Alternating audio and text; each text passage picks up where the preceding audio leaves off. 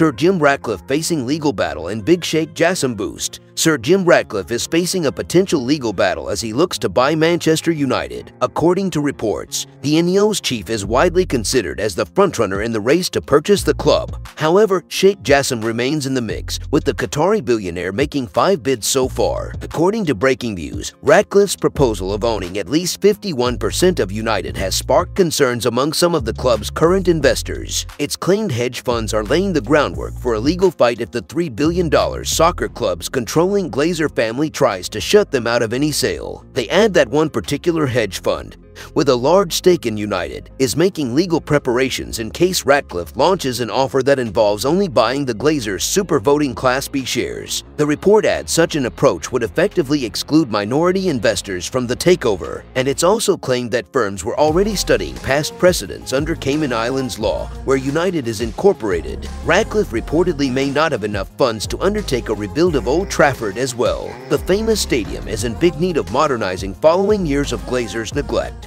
In order to pay for any improvements to the Grand Arena, Ratcliffe would then potentially pile more debt onto the club, and United's minority investors may be left with shares worth significantly less than before as a result. All in all, it's a messy situation, and that may explain why the Glazers have used PSG chief Nasser Al-Khelaifi to try and get Sheikh Jassim to up his offer for the club. While the Qatari billionaire has made five bids so far, the Glazers appear to still be holding out for more cash in order to pack their bags and leave for good. And that's irking many United fans, as well as manager Erik Ten Hag. Ten Hag is desperate for clarity as the summer transfer window nears, with the Dutchman eager to improve his squad. Harry Kane is a priority target, while United have made progress as they look to acquire Mason Mount from Chelsea. But with the takeover situation rumbling on, Ten Hag still doesn't know how much he'll have to spend this summer, and what ultimately happens remains to be seen with no end to the saga currently in sight. Meanwhile, Simon Jordan recently slammed United fans amid a potential takeover, insisting Sheikh Jassim owning the club highlights their hypocrisy.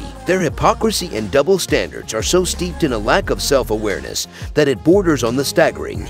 He wrote for the Daily Mail, United fans mocked their noisy neighbors when Middle Eastern money transformed Manchester City's fortunes, and they weaponized that newfound wealth to ridicule the substance of their rivals. They were sneering because they viewed United as an organically built club, and now, without a hint of embarrassment, they are desperate for Middle Eastern ownership because it suits them. Fans generally bemoan football culture being diminished and demolished by money, with players paid far too much and detached from reality. But at the same time, fans scream for the next owner they want, and it's invariably the one with the biggest checkbook. He added, I wonder if they realize how preposterous it is to be telling Sir Jim Ratcliffe how he's got to buy their club, and if he doesn't he can do one. Are they really that away with themselves that they think they can dictate to a billionaire how he buys something? It's one thing putting your views across, it's another thing being totally and utterly destructive and unrealistic. There is no need for vicious, vitriolic, hate-filled rant. In other news, Erik Ten Hag makes Mason Greenwood decision which has left striker delighted. A new twist in the Mason Greenwood saga has emerged with Erik Ten Hag reported to want the striker back in the squad.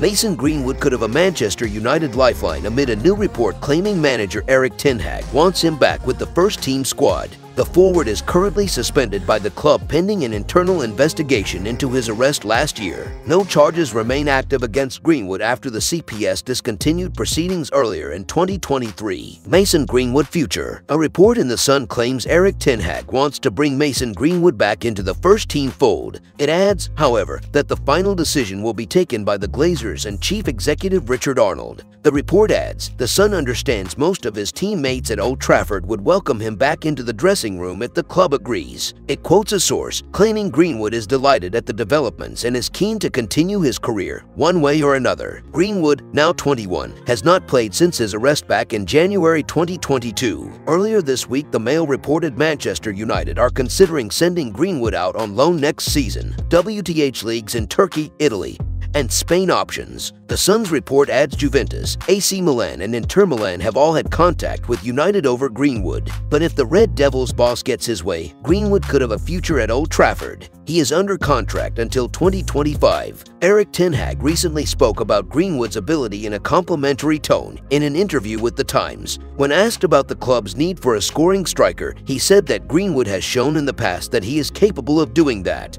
United are concerned about reaction to bringing Greenwood back in and are continuing talks with various stakeholders, including club sponsors. Outspoken pundit Simon Jordan has said Greenwood deserves to continue his career, telling TalkSport whether we like it or not, or whether people have presumed his guilt or innocence in equal measure, he has the right to go on with the rest of his life. He has the right to find some sort of redemption in whatever opportunities exist for him.